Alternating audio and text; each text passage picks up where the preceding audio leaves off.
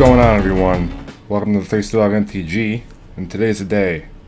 Oath of the Gatewatch. It's coming out. You guys getting some booster boxes, some packs, anything else related to the Oath? Let me know. Pretty excited to see how it's going to shape Standard, um, and I will obviously be opening some pretty soon here.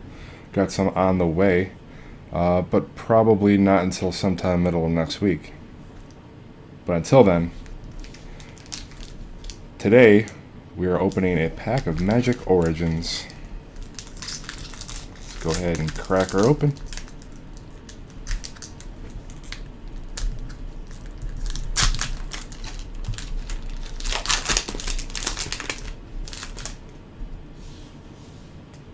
Alrighty, starting off with Mage-Ring Bully. Healing Hands. Deadbridge Shaman. Smash to Smithereens. Timberpack Wolf. Urgh. Stratus Walk. Claustrophobia. He's not really enjoying uh, his small spaces at the moment, is he? A mantle of webs. A Boggart Brute. A Zendikar Incarnate. A Valor in Akros. A Thunderclap Wyvern.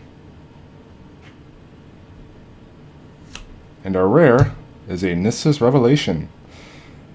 And this costs you 5 generic and 2 green. It is a sorcery. Let you scry 5, then reveal the top card of your library.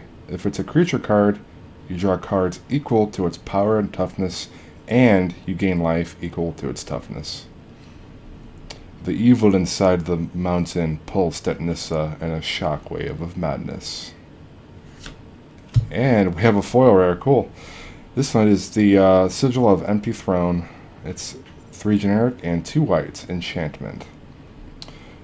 When you cast an enchantment spell, put a 4-4 white angel creature token onto the uh, with flying onto the battlefield.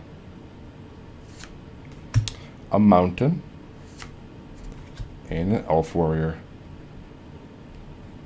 Alright guys, that is a pack of Magic Origins.